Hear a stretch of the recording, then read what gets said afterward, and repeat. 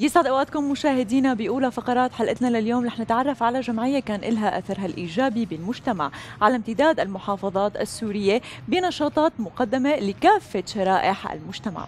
وهذا فعلا الحلو فرح إنه ما يكون في استثناء لأي شريحة بداية مع الأطفال تعليمهم الاهتمام فيهم وحمايتهم مرورا أيضا بالسيدات وتمكينهم وصقل خبراتهم ومهاراتهم بالحياة أيضا وصولا لكبار السن يلي هن بحاجة لرعاية للتكيف الاجتماعي والنفسي بالوصول لسن التقاعد بتكون مرحلة أكيد صعبة وبالنهاية المساعدة لتأمين سبل العيش. أكيد كل هالتفاصيل وأكثر رح نحكيها مع ممثل الجمعية السورية للتنمية الاجتماعية اللي صار معنا ضمن الاستوديو الأستاذ ماهر شيخاني وحيكون معنا أيضا مداخلة عبر السكايب للأستاذ واجب الدرزي كمان لحتى يعرفنا على النشاطات الجمعية بشكل أوسع وأكثر. أهلا وسهلا فيك أستاذ هلا. ماهر. يا هلا. أهلا وسهلا يا أهلا فيك أستاذ يا ماهر. هلا. يعني بداية نحن حكينا آه، قسم عن الجمعية وعن رؤيتنا لكن نحن بحاجة لهلا حدا من أهل البيت يخبرنا عن تأسيس الجمعية الرؤية يلي أدت لها وأهم اهدافها آه، حقيقة تأسست الجمعية بسنة 2009 ب 15 7 هو ميلادها للجمعية، كانت البداية من معهد خالد بن وليد للإحداث الجانحين، نعم. كان الفريق 15 شخص. آه، بسبب ال ال الحرب اللي صارت على سوريا أدى إلى أنه تتوسع أعمال الجمعية. آه، حاليا الجمعية السورية موجودة ب 230 موقع ب 13 محافظة. بفريق آه، متطوعين آه، 3000 متطوع و1000 موظف. آه، يعني رؤية الجمعية أو أو خلينا نقول الشغف إحنا بنسميه شغف للجمعية هو آه، الأولوية ال- ال- ال- الكبرى لفئة الشباب. فئة الشباب اللي نحن يعني هو مغزى العمل تبعنا. بالإضافة بالإضافة للأشخاص المهمشين لأنه نحن شعار الجمعية هو على الهامش وبالصميم. هو شعار انطلقنا منه لنشتغل بكل الأنشطة اللي إحنا بنشتغل حلو فيها. كثير آه، استرجاع النفوس آه، ترميم النفوس استرجاع الحياة هو هو رؤية وأهداف من أهداف ال- الجمعية. ال- العمل على أعلى المستويات المهنية لحتى آه، يكون أنشطتنا كلها تفاعلية مع آه، مكونات الشعب. نعم. والمجتمع. نعم. آه، طالما نحن عم نحكي عن النشاطات الموجهة لكافة فئات المجتمع بدنا نحكي بداية عن النشاط الموجه لليافعين. لو هيك تخبرنا تفاصيل عنه. آه، آه، حقيقة نحن بنشتغل مع اليافعين بكافة أنشطة الجمعية منها التعليمية الترفيهية الثقافية حتى آه، بدور بدور الإصلاح نحن كمان بنستهدف اليافعين. آه، وبرامجنا كثير هي قريبة منه. نحن عم نحكي عن برنامج شبابيك آه، برنامج دنيانا برنامج آه، مجموعات الصداقة اللي إحنا بنشتغل معهم آه، زميلي واجب نعم. رح يكون واجب معنا أكيد عبر رح السكايب. يكون أكثر آه، توضيحا مني بهذا الشيء. أكيد الأستاذ واجب معنا عبر السكايب رح يخبرنا تفاصيل أكثر. بس بداية بدي تسمح لي آه، نورجي المشاهدين شوي من آه، منصة المسرح التفاعلي ومنصة شبابيك الإلكترونية اليوم شو عم تقدم على أرض الواقع ومنصات التواصل الاجتماعي.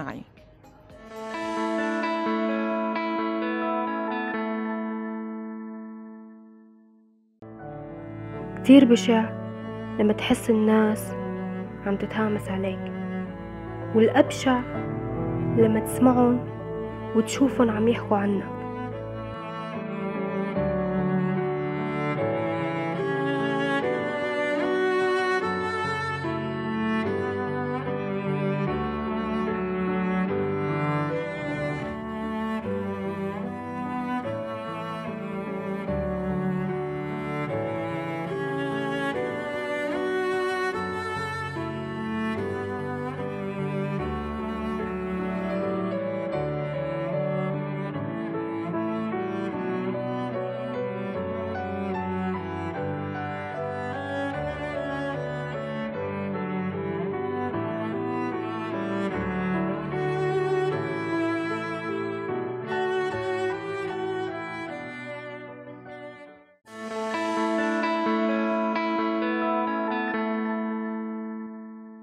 وهلا متابعين معكم متابعينا لحتى نحن نحكي أكثر عن منصة شبابيك الإلكترونية وكثير من النشاطات الثانية وبدنا نقول مساء الخير للأستاذ واجب الدرزي اللي هو مسؤول برنامج المسرح التفاعلي صار معنا عبر سكايب. يسعد أوقاتك. يسعد أوقاتكم. أهلا وسهلا بكم.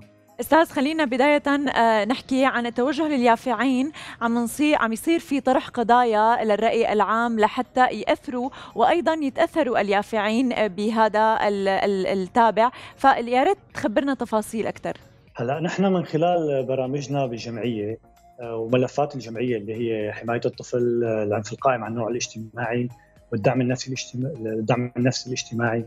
نقدر نتدخل تدخلات نفسية مع الأشخاص المهمشين بالمجتمع بالمجتمع. هدول الأشخاص المهمشين هن آه، نحن بنستهدف أكثر شيء فئة اليافعين. نعم. يمكن لأنه هي الفئة اللي تأثرت كثير بفترة الحرب أو بفترة الأزمة اللي مرت عليها بلادنا. صحيح. هلأ أحد المنصات ال... تمام.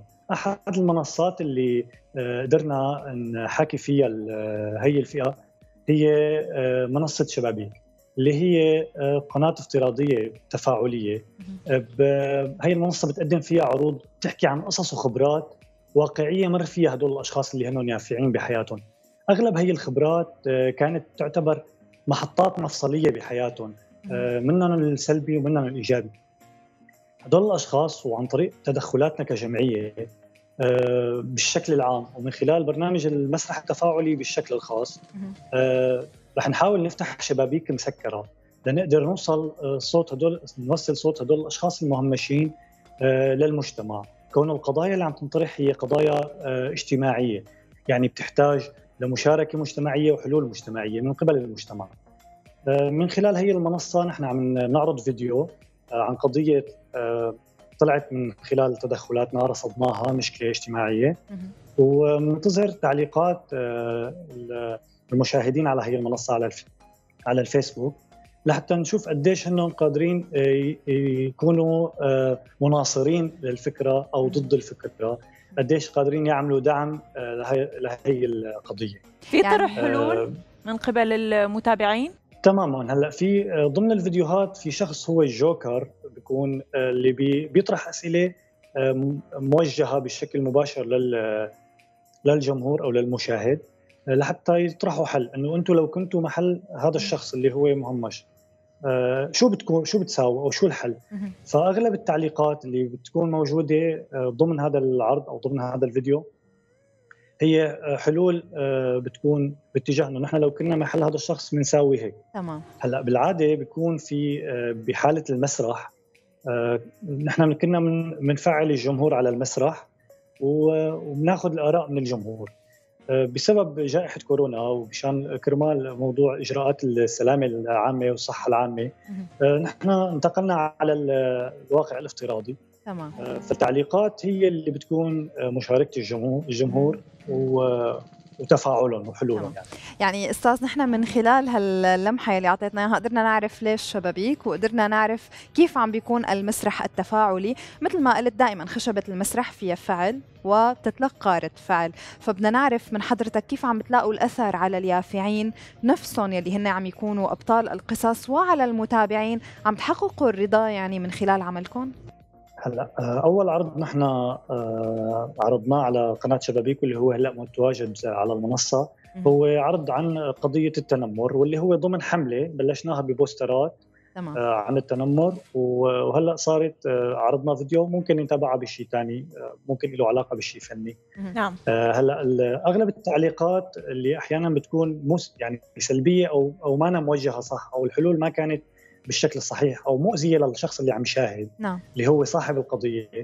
آه بتلاحظي انه اليافعين آه هن اللي عم بيردوا. يعني هن اللي عم بيجاوبوا بطريقة آه كثير لطيفة من دون تجريح آه نفس اليافعين اللي طرحوا القضية هن اللي عم يجاوبوا. مو جمعية ولا موظف جمعية. فنحن ما عم نكون طرف ونحن عرضنا القضية. وخلينا اليافعين اللي آه عرضوا واللي عم يتفاعل آه يتفاعلوا بحوار معين لا يوصلوا لحل. لهي القضية. تمام. شكرا شكرا كثير لك أستاذ واجب على اللمحه السريعه اللي اعطيتنا إياها لمنصة شبابيك الإلكترونية. إن شاء الله بالتوفيق. هلا مشاهدينا رح نرجع على استوديو والأستاذ ماهر شيخاني لحتى يخبرنا أكثر عن آه، تفاصيل الأنشطة المقدمة والموجهة للسيدات. اليوم في آه، صقل مهارات وأيضا اكتساب خبرات عم يصير من قبل السيدات. بجمعيتكم لو تخبرنا عنه حقيقة اشتغلنا كثير أعمال مع مع السيدات وتحديدا يعني إذا بدنا نضوي على الشغلات اللي كانت كثير في لها صدى وأثر إيجابي اللي هو التدريب المهني للسيدات. آه، بعد ما صارت الحرب على سوريا وما وتداعياتها والآليات التكيف السلبية اللي اتبعها البعض صار الاتجاه نحو تعزيز الاتجاهات الإيجابية مطلب. وبصراحة يعني خلينا نقولها بشكل مبسط أكثر إنه المرأة أخذت الرجل وأخذت مكانته صحيح. يعني صار في عنا تغيير بالأدوار. مم. هذا الشيء عن صار عندنا فجوة بين بين الاحتياجات السوق وبين ال ال ال الموارد البشرية اللي موجودة عندنا آه، صار الشغل على تدريب السيدات بمهن توائم آه، احتياجات السوق نحن عم نحكي عن مهن أحيانا كانت آه، هي حكر على الرجال. عم نحكي عن مثلا مثل مثل التمديدات الكهربائية، التمديدات الصحية، طبعا المهن اللي بتناسب طبيعة الجسدية للمرأة. آه، ولاقت نجاح كتير كبير وفي سيدات يعني بجعبة الجمعية قصص نجاح كتير كبيرة عن سيدات آه، آه، اكتسبوا هاي المهارة من خلال برنامج تدريب المهني وحاليا عم يشتغلوا بمهنهم إلى الآن، نحن عم نحكي من 2016 2017 تقريبا البرنامج كان بي بي بي بالذروة تبعه. معناها يعني صار في عندكم هلأ خلينا نقول رؤية عن نظرة المجتمع لدخول هالمهن هي بشخص المرأة لها، يعني صار لازم قيمتوا التجربة، فكيف طلع معكم؟ آه، بداية كانت كثير آه، بصراحة تجربة. يعني يعني كانت آه، ردود الفعل ما كانت كثير إيجابية من المجتمع. وكانت تتعرض لبعض التنمر وهذا هذا شيء طبيعي. متوقع. متوقع تماما. بس العمل كان على تعزيز ال ال ال ال ثقافة المرأة آه، ثقتها بنفسها من خلال برامج جمعية.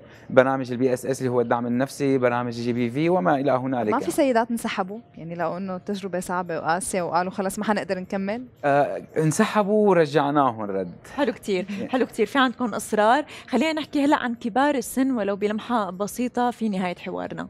آه كبار السن نحن آه بنبلش نستهدفهم من عمر الستين وما فوق. بضمن برنامجنا اللي إحنا كثير بنعتز فيه اللي هو ذهب عتيق.